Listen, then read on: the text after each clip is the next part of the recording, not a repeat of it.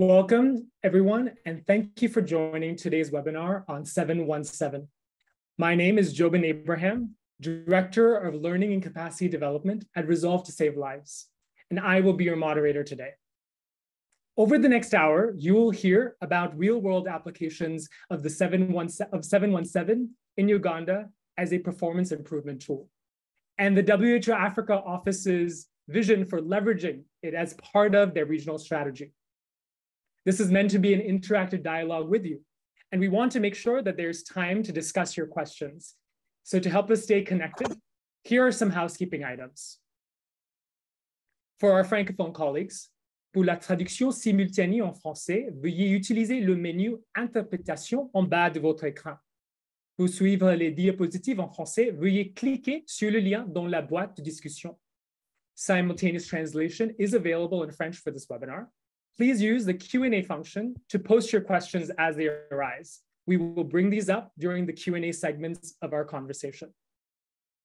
So the big question on our minds right now is, why is 717 important for the world? To help us answer that question, I'm delighted to introduce Dr. Tom Frieden, President and CEO of Resolve to Save Lives. Over to you, Dr. Frieden. Thank you so much, Jobin, and thanks to all of you for joining us today. I'm really excited for this webinar. 717 is an approach that builds on and complements many aspects of preparedness. The international health regulations, or IHR, remain foundational for health protection. The Joint External Evaluations, or JEE, remain a core means to assess and track progress and help every country develop a specific plan for improvement. Groups such as Ending Pandemics have emphasized the importance of timeliness metrics and the utility of after action reports. These timeliness metrics were adopted by the World Health Organization as part of its triple billion metric, and 717 addresses the need for a timeliness metric as part of the WHO triple billion framework. 717 has emerged from partnerships among many entities, most importantly, work with countries in Africa and elsewhere which have demonstrated not just commitment, but also real progress improving preparedness and have refined and identified the benefits of the 717 approach.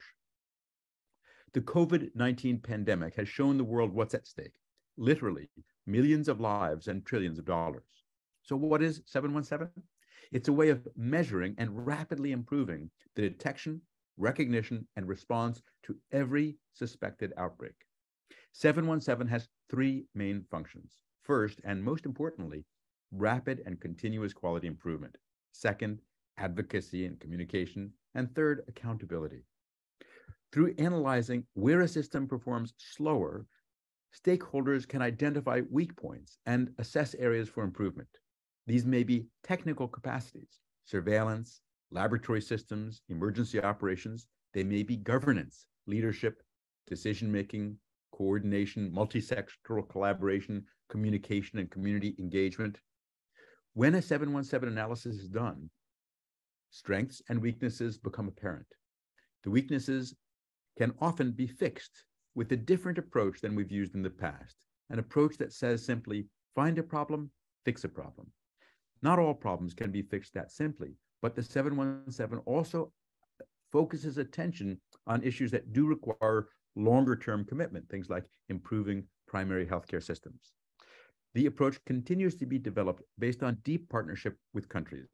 And today, we're very much looking forward to hearing from Dr. Issa Makumbi, manager of the Public Health Emergency Operations Center and deputy director of the National Institute of Public Health in Uganda, and Dr. Ambrose Talisuna, senior health security advisor with WHO Africa region. And now over to Dr. Makumbi. Thank you very much, Dr. Frieden. Thank you very much. Uh, I'm going to talk about um, 717 uh, for performance improvement in Uganda. And I'm going to tell you why really we are excited for, on, for this tool. Uh, next slide, please. Uh, uh, preparedness in Uganda is so important because uh, we, in the last decade, we are getting public emergency uh, outbreaks back to back. And so Uganda is very prone to public health emergencies. Uh, okay, let me start my video. Is my video on now? Yes, it is. Thank you very much. Very good. Very good.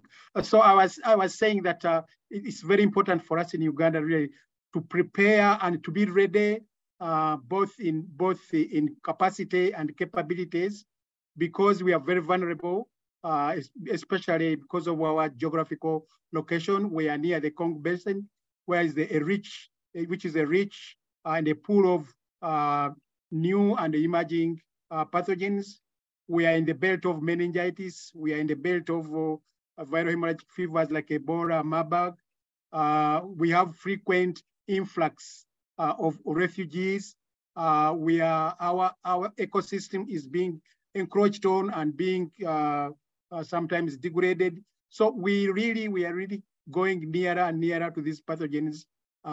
some of it is global globalization, growing population, and so on, and so on. So all these really make us very vulnerable to public health emergencies. And that's why we need to be ready to cope with this back-to-back uh, public health emergencies from these uh, uh, factors. Next slide, please. So Dr. Frieden has, has already talked about the, the 717 milestones and the timeliness metric.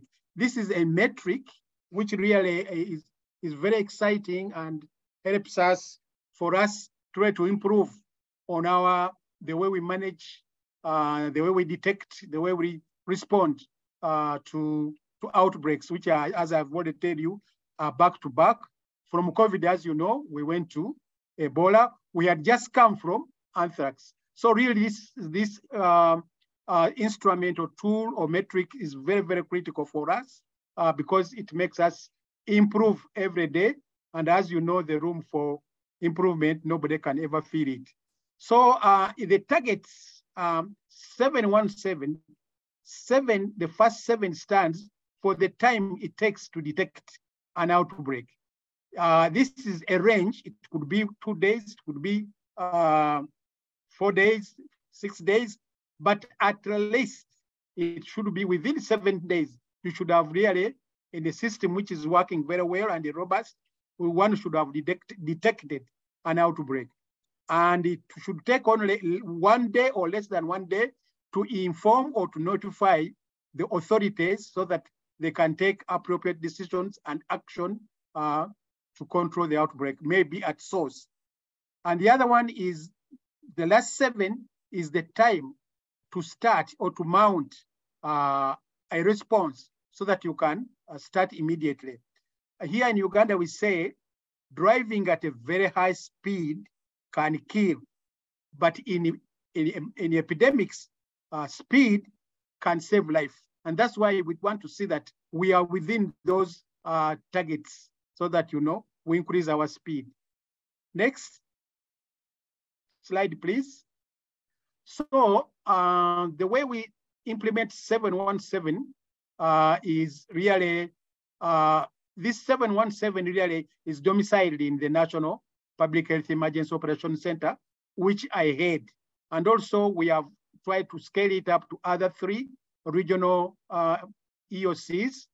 And these EOCs, we have trained them um, in how to collect data and fit this in this metric so that we can see where there is systemic problems or bottlenecks and where there are systemic enablers. And these, um, this, this data which is uh, incorporated in the metric, uh, the 717, is later on presented to the National Task Force uh, meetings to discuss bottlenecks and propose remedial actions. Uh, the National Task Force is the one which is, is a multi-sectoral, uh, multidisciplinary committee which oversees uh, the, the response of an outbreak. So with this, these are discussed and the bottlenecks are well elaborated for everybody to see because this is a, the National Task Force is government plus partners. Next slide, next slide, please. Uh-huh. Now, I, I think I want to give an example so that you can you can get a feel uh, I, I, just want to make, whet your appetite on 717, how we utilize it for the current EVD, which is going on right now, although we are almost at the tail end. This one, this EVD started in Mubende district. And you can see uh, uh, the target is seven days, but when we applied 717, we found that we had taken more than a month to detect this outbreak. It was far away in the rural area. It took us some time really to detect.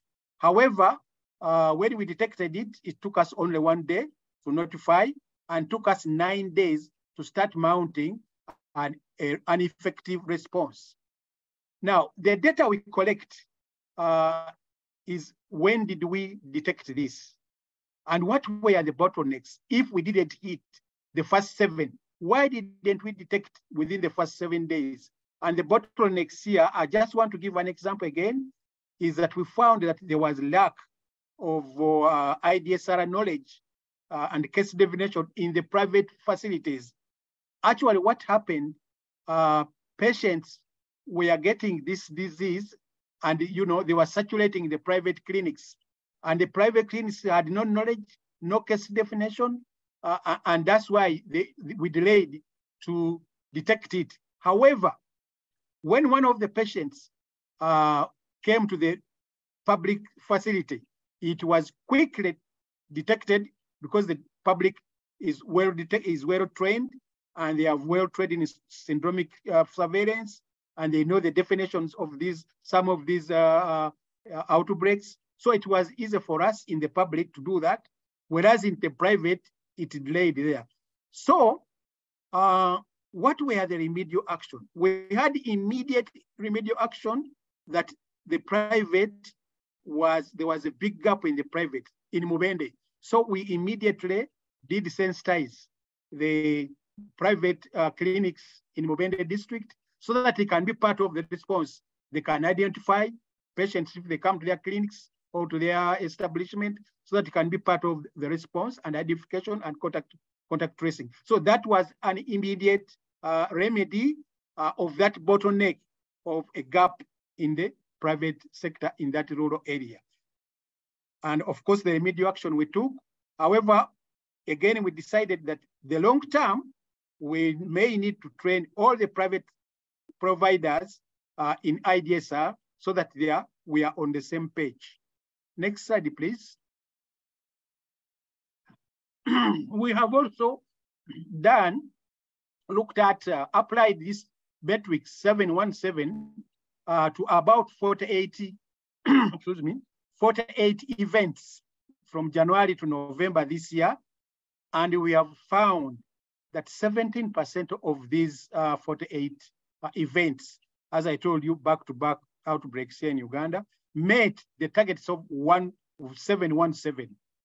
And the, and, uh, and the others, uh, 51 met the target for detection, uh, 79 met the target for notification, and 47 met the target for uh, for response. That means really uh, this there, there were bottlenecks why we're not hitting the, these targets. Next slide, please. So we collected all these from these 48 events. We collected all the, the bottlenecks and uh, enablers and, uh, and remedial action proposed. Uh, again, I'll give one example. Uh, inability to apply case definition in private uh, private facilities and conduct and remedial action conducting a training in, in, in IDSR and the, in the private sector. That was very quick. We did that very quickly for the short term in Mubende in particular, and then for the whole country in the long term. Next slide, please. So uh, we, we have a national action plan for health security. And we found that uh, uh, the national plan is huge. If you don't really take slices, you find it very difficult to, to, to implement it. So we decided to do what we call annual operational plans for national for the plan for national action, action plan for health security, where we first do the assessment, evaluate, and then do the planning, implement, and then monitor, and of course the cycle continues. So recommended long-term remedial actions from 717 were combined with other evaluations like for IHR, M&E, uh, after action review, JEE, uh, state party annual reports to, to form a list of activities. And of course, then we had to prioritize those activities uh, and included them in our annual uh, operational work plan. Next, next slide, please. So after doing, after, after using this uh, metric and looking at those bottlenecks and incorporating them in our uh, annual operational plan. And as, as the Dr. Has said, this 717 looks at the whole system. It could be governance, could be a pillar like surveillance, it, it could be transport. So it looks at the whole systemic uh, domain so that you nothing is not it it kind of illuminates the whole the whole uh, public health management system so that every every angle is looked at and we don't leave anything uh, and and we turn it's turning all the tables to see that all the uh, bottlenecks are really identified so 717 what we have learned target provides a useful framework that identify bottlenecks and action that lead to improvement performance. Because why we are not hitting the targets of 7147, there is some gaps and these gaps need to be addressed to improve performance. Using 717, also in real time, we identify action necessary to improve even the ongoing response. As I've told you, we immediately found that we had to sensitize those uh, uh, private sector in Mubende so that they can help us in the ongoing response. 717 complements the existing uh, IHR monitoring and evaluation framework by identifying systemic bottlenecks in real time, in real time, because as you, as you are as you are investigating, as you are verifying, you are identifying uh, bottlenecks. 717 data was used to prioritize activities and to, for better allocation of resources uh, in our latest annual uh, work, work plan. And of course, uh, we are very happy that 717 supports our approach of IDSR, which we for long time have been using this uh, to make sure that we can manage, manage our uh, public emergency uh, problems or outbreaks. Next slide, please we have some recommendations. This recommendation for successful implementation, we need to try to train rapid response teams to capture data or timeliness or information, uh, especially the bottlenecks, why we are not hitting the targets of this framework.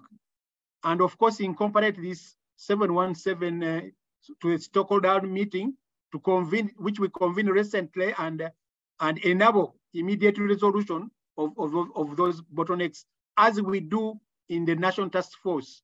We discuss it them and we make we find the resolution immediately, those which are immediate, long term, and short term. And they need to engage uh, regional EOCs so that they can also apply this uh, metric for, for smaller events so that they capture data for those smaller events at regional EOC. 717 implementation highlighted the need for data system to capture uh, the timeliness of this of this of these metrics, which for us was very very critical. Next, please. So the next steps we think uh, uh, what, what we are doing now, we are continuing to review in in real time in, at the national uh, national task force meetings the 717 uh, outputs, what it gives us and what brings out as a way of improvement. Because what now, since we've been using this, there is continuous improvement in our performance in the way we manage uh, these outbreaks. We want to expand uh, to regional, other regional EOCs uh, to review performance, of course, for those smaller events. Uh, we are now discussing with the Office of the Prime Minister uh, and One Health platform uh, to review that of 717 for all hazards, all hazards, because the OPM is the one in charge of disasters in this country, mainly when there is landslide, when there is floods, when there is earthquake. So we think this is something also we need maybe to uh, incorporate in all hazard in all our hazard plan, especially at the office of the prime minister. And the office of the prime minister is that's where the, the coordination of our national action plan for security is domiciled. So this we think is going to be very helpful. We wish to integrate 717 timeless metric into our event management system, which is being deployed in DHIS2. And I hope this will be very helpful. Our recommendation really is that uh, other countries or other members could also begin implementing this and uh, so that they can also harness the value, uh, the value added by this uh, metric. Next. I think that my, was my last slide. I thank you very much. But in a summary, in a summary, these metrics help us to find bottlenecks which we, we can immediately uh, uh, resolve during uh, an outbreak or which we can incorporate in our annual uh, operational work plan. And we think this is also giving us continuous improvement in performance, quality improvement, those who know about quality improvement. This is one of the tools. I thank you very much for listening to me. I submit. Dr. Makumbi, thank you so much for that um, very succinct and powerful primer on 717. Dr. Makumbi, if you can stay on camera, now we'll have about, uh, we have five to seven minutes of, um, of uh, Q&A, and I feel like I have the toughest job uh, here today because there's so many questions that have come in both around the technical assumptions of this model, the real world application, advocacy, uh, and political implications. So we'll have to prioritize the questions today for, I'll group some of our questions and present it to you today. And our team will follow up um, separately with all the, to make sure that all the key questions are answered within the next few days for sure. So to get us started. Me, I, I didn't come alone. I came with Aaron and, and Lydia whom we have been uh, thick and thin of this um, metric. So they, they'll be able so to help me to answer some of the, the questions. I hope they are on now. Thank you. Excellent. Um, yes, well, we'll pose the questions, and if we need to bring up uh, someone, uh, we'll see if we have enough time to bring in uh, Aaron and uh, and Lydia. Um, all right. So the first question is, what what do we mean when we say initial response in the first seven days? How did uh, you and your team interpret and uh, use that? Uh, the initial response is that uh, we we start mobilizing, mobilizing the response structures. Are you ready to, to start like a, like a, like the national task force has to sit immediately and and appoint uh, an incident commander and an incident team. That really is for us is the beginning of the response. And of course, informing the districts uh, about the results and also sending a rapid response team to really verify and also start preliminary control measures. That's what I mean. Excellent. And then if you could help us understand, Dr. Makumbi, on a day-to-day -day basis, how has this tool been useful for you? Have you been able to use this in terms of political engagement and advocacy? What does that look like? Yeah, as uh, uh, again, as you know, in, in the National Task Force, uh, it, it's a, it's a it's a it's a it's a composition of government officials uh, where ministers uh, sit, and of course partners. Uh, so so they, they they they get to hear about this, and also recently we have presented this to the ministerial meeting in Seoul, mm. and they were, they were very, very happy. The ministers were very happy about this, uh, the, this metric in Seoul. It was a high level ministerial meeting. So the political uh, level has caught fire on this. Thank you. And in those conversations, I'm sure this is on all of our minds on the political piece. Uh, in those conversations, what concerns um, do people or countries possibly have about what do we do if the data doesn't look good? I think that, that is a red flag for us. Mm. If the data doesn't look well, that's the red flag, because then you know there's a, a lot of work ahead of you. What we want, as I told you, speed in public health emergency saves life. So mm. the more you delay, the more lives you lose, the more economy you you you, you, you destroy, and the more livelihood you you you know you forego. Excellent. Thank you for that important framing from a leadership perspective about how this uh, this metric can be used effectively and appropriately uh, for accountability and advocacy. Uh, the next question I have for us is, what was the was the animal health sector involved? What was their involvement like in this space, in this in this uh, in this uh, use of the metric? Pardon? The animal health sector. What was their involvement like in this work? Uh, the animal the animal sector, for example, for EVD, not very much. But now also we have now uh, CCHF, RVF. Uh, so the animal animal sector is fully involved, and they, actually the incident commander is a veterinarian officer. Sorry, I'm just looking at the questions. Give me a moment if you can build on that a little bit more um, about the animal health sector piece, how does the One Health approach, because a lot of us on the line are quite committed to the One Health approach, and we know Uganda is as well. How does the One Health approach feature in the metric, and what is the target uh, host for the detection stage? Um, uh, yes.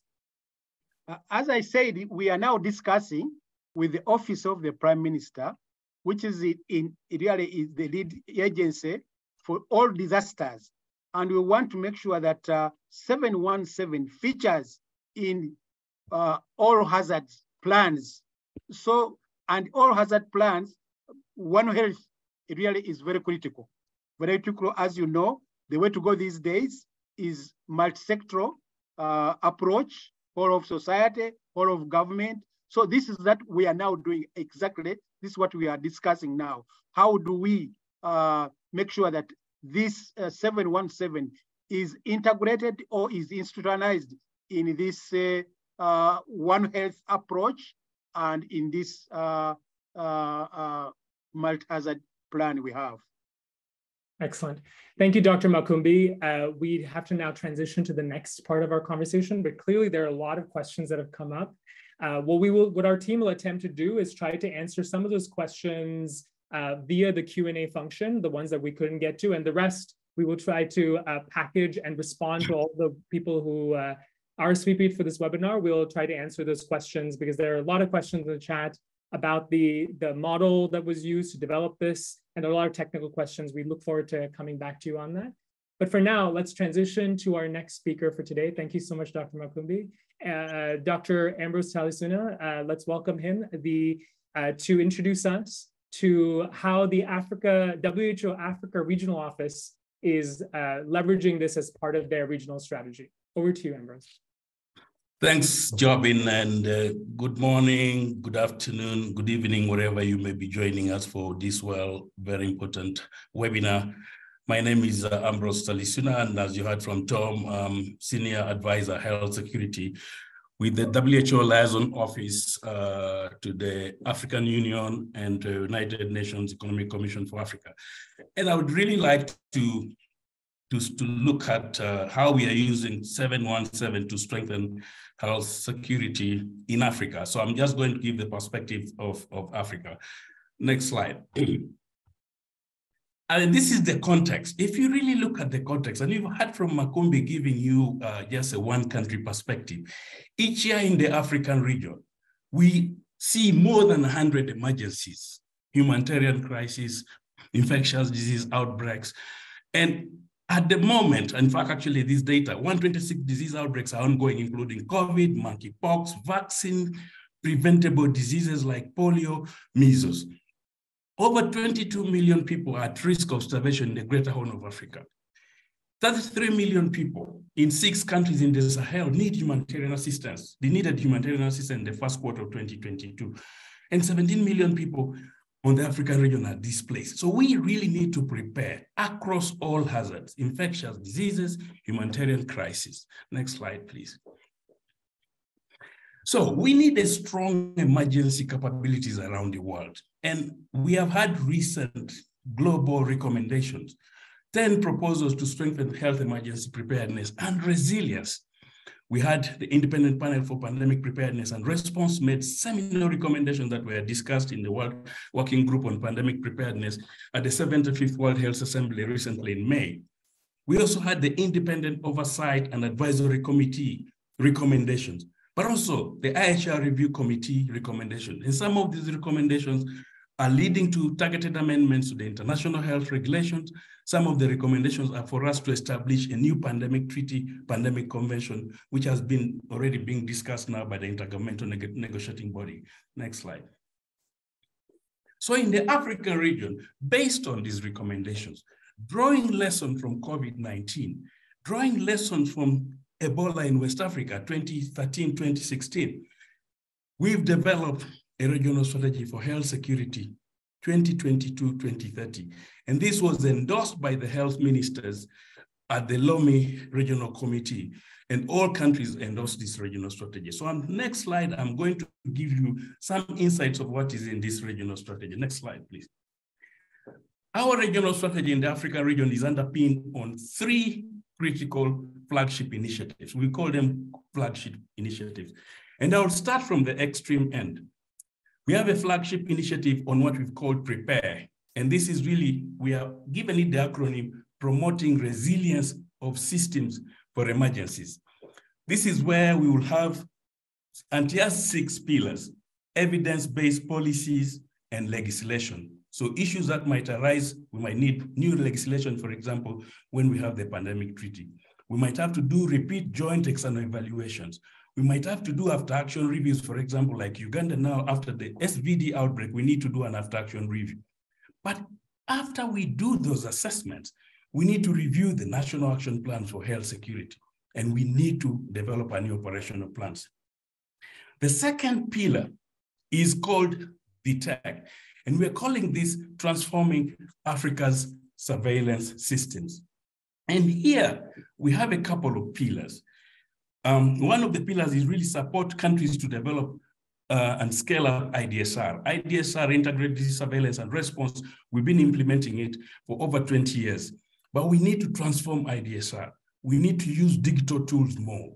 We need to train people, workforce for IDSR. We need to digitize the system. We need high-level advocacy to mobilize resources. But this IDSR at countries really needs to be linked to a global public health surveillance system which has both indicator and event-based surveillance. We need pathogen surveillance system. We need genomic surveillance. Actually, COVID-19 has taught this, but if you look at my drug-resistant TB, we need to be doing molecular, molecular surveillance. And then the final one, which deals with response, also has uh, four pillars. And here we have a pillar on readiness, response, and coordination. You have heard Issa talking about emergency operation centers. That might be for small countries, but also national public health institutes. And our colleagues at Africa CDC are driving this agenda. And Tom, Tom published an issue recently on the importance of national public health institutes. Several countries might need those ones. But we need risk communication and community engagement before, during, and after the outbreak. And then operational support and logistics. On the African continent, we were short-changed during COVID. Initially, we didn't have personal protective equipment. Initially, we didn't even have diagnostics. When vaccines became available, we are not having all the vaccines that we required. So we really need to be looking at how do we deal with repositioning supplies? How do we deal with R&D to have countermeasures? And then workforce, workforce development during an outbreak. We need to have trained incident managers. We need laboratorians. We need anthropologists. We need epidemiologists, but across the board, I was in Zambia and South Africa during the first waves and the second waves of COVID-19 and mental health. Mental health experts, people really need mental health and psychosocial support, but we have very few of those experts. We don't have logisticians. Most of our logisticians at the moment repurposed storekeepers. We need to be working with training institutions to see that we are churning out these people in pre-service training schools. And that will require workforce strategies in peacetime, but also having the workforce strategies that can respond, rapid, uh, multidisciplinary response teams and emergency management teams. Next slide. So we also have to support those three flagship initiatives, cross-cutting work streams. And one of them is really to continue to institutionalize accountability, monitoring and evaluation. And we know the International Health Regulation Monitoring and Evaluation Framework, which has the, the one mandatory component, the state party annual report, and the voluntary joint external evaluation. Many of the countries now did their joint external evaluation more than five years ago. These countries need to be doing repeat joint external evaluations. At the end of the outbreak, for example, like I said in Uganda, we need to test the functionality of those systems using after action reviews. During COVID-19, we have also done intra-action reviews. But in the absence of events, we need to test whether the systems we're developing are functional. So we need to do simulations and exercises. The other second cross-cutting work stream that is going to support our flagship initiatives is strengthening community systems. Community resilience, as it were, having a community-based IDSR, routine community dialogue, working with trusted community actors and local leaders to educate communities, and making communities part and parcel of the response, part and parcel of the emergency preparedness and response cycle. From prevention, preparedness, readiness, detection, response, and recovery. But we need to invest in innovation, research, and development. We need new life-saving countermeasures, vaccines, diagnostics, therapeutics. At the moment, you know, the Sudan virus, Ebola, which is ongoing in Uganda, I mean, we don't have a treatment, we don't have a vaccine. We had that for the Zaire. We need to be looking at that and developing that. During COVID, we didn't have vaccines. Luckily, with collaborations, there was really ramp up pipeline to develop vaccines in record time. But even then, putting vaccines in the arms of people we've had vaccine hesitancy. So we really need to be looking at some of these things. But for R&D, we need to have synergy and close collaboration with national, regional, and research institutes. And for our regional strategy 2022-2030, we've actually included this component to adopt and use this novel global 717 target that Dr. Makumbi has been talking about. Identify the outbreak within seven days of emergency. That requires having epidemiologists who are trained at the periphery. It requires you to have good laboratory systems and uh, from the periphery, maybe refer of samples to the reference laboratory, but also to report to public health officials within one day. The epidemics start in communities. They have to be reported and so that we can amount, mount a response. But then we need to initiate an effective response within those seven days. Countries then have to develop a response plan. You have to set up a coordination mechanism. And as you probably in, in the first seven days, like Dr. Makumbi has been saying. Next slide.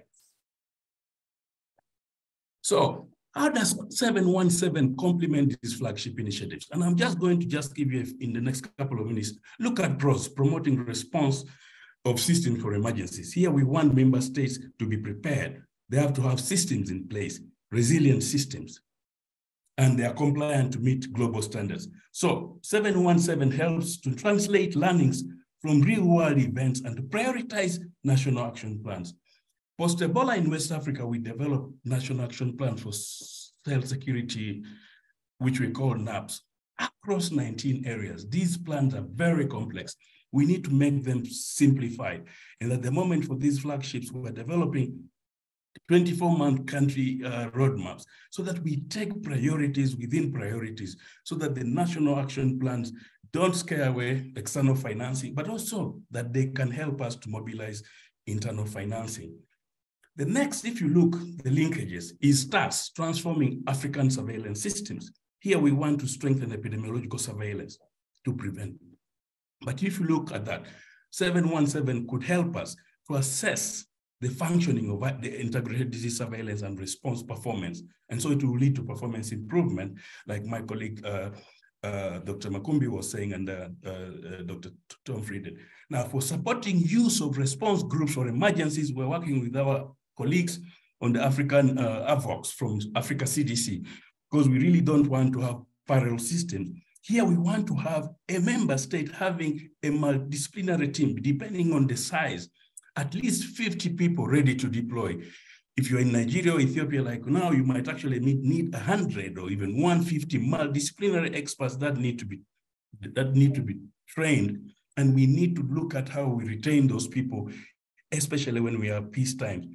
And how the 717 help us to do that is really accountability and visibility for effective and early response to contain public health emergency. Because if we really have incident management systems that can be activated very quickly, then we can initiate the response within the first seven days. Next slide, please. What about integrated disease surveillance and response? As I said, the IDSR strategy was adopted by our regional committee in the late, 19, the late 90s, actually 1998 stroke 1999. IDSR is implemented by almost all African member states as a common approach to the detection of public health threats with appropriate reporting. 717 actually we've looked at, we've done a crosswalk, is aligned with the targets for detection, for notification of outbreaks in IDSR. 717 also can be used to assess how the IDSR system is performing in achieving its goals to detect, to respond to threats across and finally, 717 can identify action that can be taken to strengthen IDSR. So moving forward, performance improvement for improving IDSR and transforming Africa's surveillance systems under TASS. Next slide. So to sum up really, I want to, to really uh, say, colleagues, from the H1, H1N1 pandemic in 1918 to Ebola in West Africa, to the COVID-19 pandemic, epidemics and pandemics have always had devastating health, social, and economic impacts. We cannot predict with certainty which pathogen will cause the next pandemic. It might be respiratory, it might be a contagion, it might be waterborne. We don't know. But if humans and infectious disease pathogens continue to coexist, pandemics are likely to occur. COVID-19 has definitely showed us that we need to be prepared now, not tomorrow, to mitigate the effects of the next pandemic. And for us, we really need to build building capacity for health security, which is integrated with building resilient health system, a system that is able to respond to any shock event, whether that shock event is a contagion, whether that shock event is a zoonotic event, whether that shock event is a vaccine preventable disease, whether that shock event is a vector-borne disease, or whether that shock event is just antimicrobial resistance. So we really need systems that can be able to deal with uh, those shock events. And at AFRO, we have adopted this in our regional strategy because we believe 717 adds to our accountability measures on how to gauge how African countries are building health security and resilient health systems. I thank you for your attention and I can take some questions now. Thank you very much for joining us for this webinar.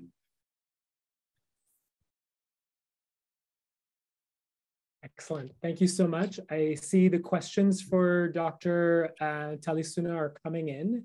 Um, so if you can, all of you, if you can add your questions specific to uh, the presentation about um, the Afro strategy with 717, please put them in right now.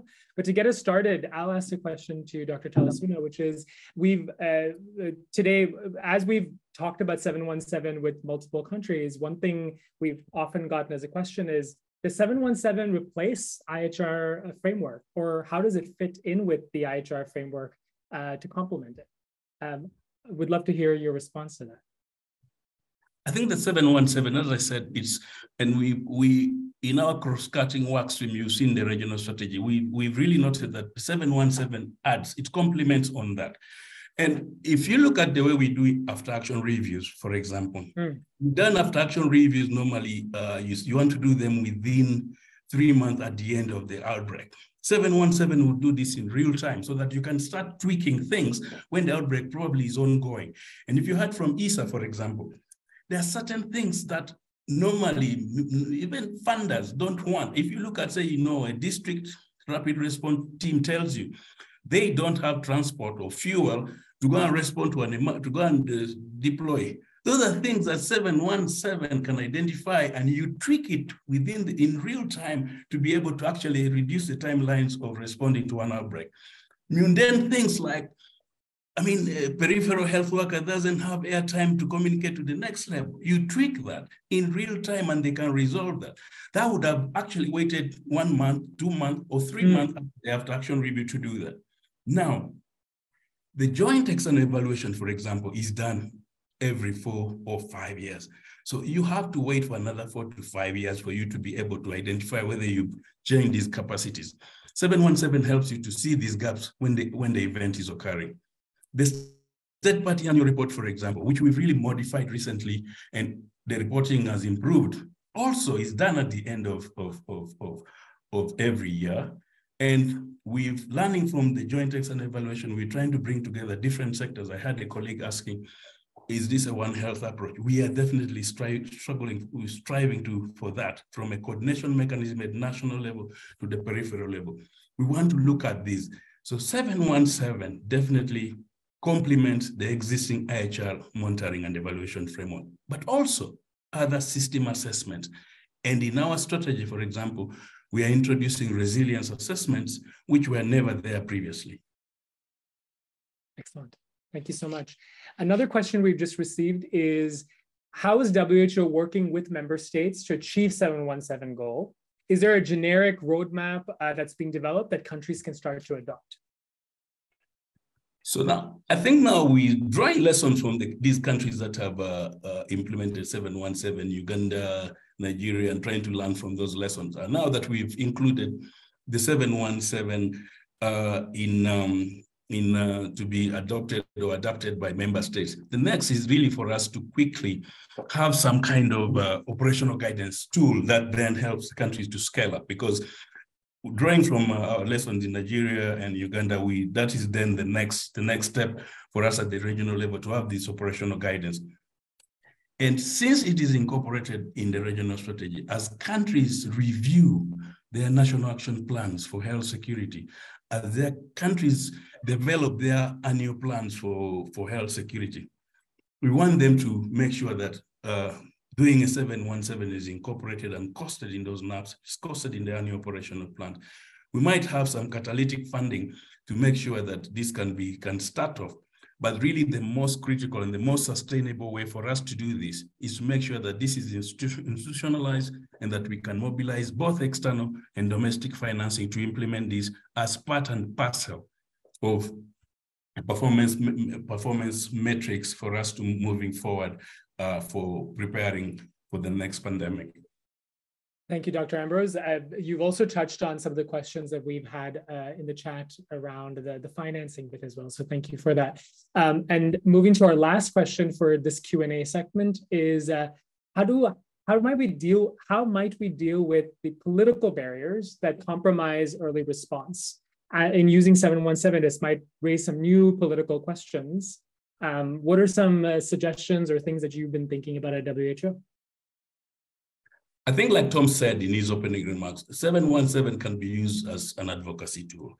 So it's really, for example, if Issa has found out all these challenges, I think the first is to make sure that you're raising these challenges to, to, to, to, to, to the people who provide us money. And, and so first of all, raising it to the ministers of health, but making sure that the ministers of health are talking to the ministers of finance and making and say if the, an outbreak is, is not detected, an outbreak is not reported or responded to, it will grow into something big and will disrupt social and economic indicators. And that's the messaging we should be saying. 717 will help us to, to nip some of these outbreaks in the bud so that they don't grow into big outbreaks, which would result in disruption of countries' economies. That's one. But we can also use 717 to talk to legislators, the social, the social affairs committees. They, they are the ones who allocate domestic financing. We've really had a couple of declarations from Abuja to the AU declaration on domestic financing, but we are not having a shift. And I hmm. think for me as an accountability metrics, we should start using some of the results coming from 717 to be reaching out and say, hey, you see, this is this is it. We are not doing this in seven days. We are not reporting in one day, and we are not having an initial effective response in seven days. So 15 days, this is going to get out of control. And once it gets out of control, people fear when, you know, uh, if you ask Issa now, everybody is fearing that if the Ebola outbreak expands, they will be locked down.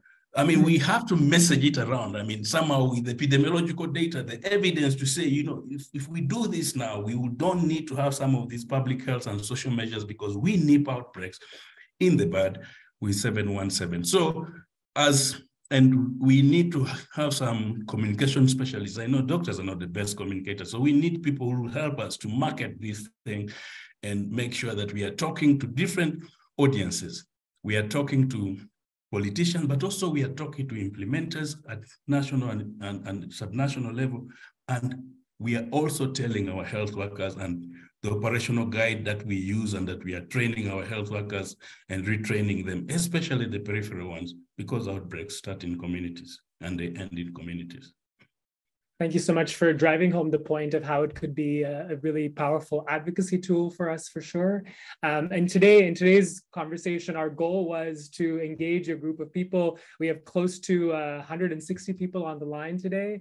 Um, and we've been able to start this initial conversation about what are the the technical, operational, and political questions we must answer to make 717 a, a, re, a, a reality in terms of a shared global metric for epidemic preparedness. Um, so thank you for, to all our speakers for helping make that, initiating that conversation and sharing these very concrete examples and, and helping us start to answer these big questions. Uh, what our team will be doing shortly is triaging all your questions and following up with you shortly. Um, I'll hand it over to our Senior Vice President of Prevent Epidemics, Amanda McClelland, to, to close us out. Over to you, Amanda.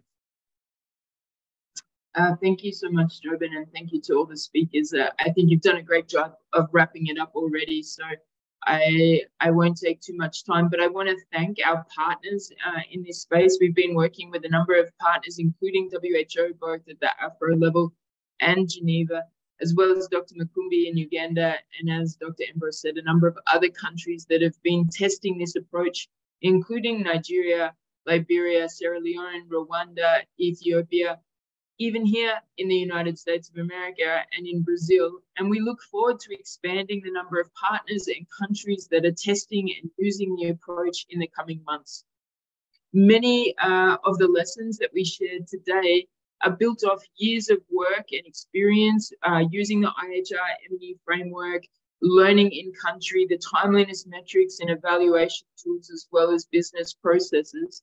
And as you've heard, this is an approach that brings all of those pieces together and allows us to look at the system more completely and understand where the challenges are from the community level, the local uh, level, subnational and national level, and communicate that both as an accountability tool, but also as a communication tool. Sometimes we have to be able to break things down in a way that's simple for our counterparts in the Ministry of Finance or, or other uh, parts of the government system to understand what it is that we do and that speed matters. Uh, we need to find outbreaks quickly and respond to them quickly. And 717 helps us not only understand our own performance and the way that we are able to um, implement that in partnership with communities uh, on the ground, but also help us identify those challenges and clearly explain them to our counterparts in the political and financial sectors. So we continue to learn with countries and further develop the approach. As Ambrose mentioned, there's still a lot of work to be done to create the operational guidance from the regional level as well as the global level. So this is really part and the start of a conversation that RTSL is proud to support and to continue over the coming months. We look forward to sharing uh, additional information in the coming weeks and months, especially around how we can expand the number of partners uh, both collaborating and sharing lessons, but potentially with some additional funding. I see a number of questions coming in around funding and support for this. Uh, so we look forward to continuing this conversation. The team will be sharing uh, the, the videos and the slides from here and additional information in the weeks to come about how we can continue to learn, share and partner around the 717 metric uh, and approach. So with that, I want to thank everyone for their time today. Uh, uh, and thank our speakers very much for sharing their experience. Thank you so much for your time.